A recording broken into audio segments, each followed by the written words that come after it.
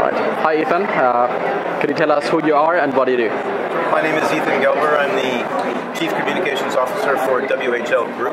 We call ourselves the largest local travel company in the world. Uh, collection of companies, a network of six companies and communications tools that focus on responsible, sustainable, and local travel. I'm pleased to be here, Travel Massive, the opening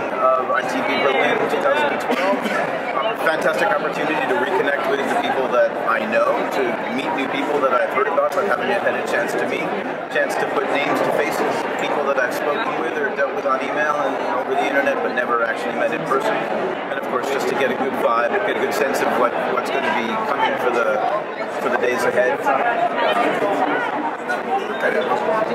Really, an introduction, a preface to the to what's what's to come. I'm glad. Thank you to pocketvillage for making it all happen. Cool. Thank you very much. Yeah.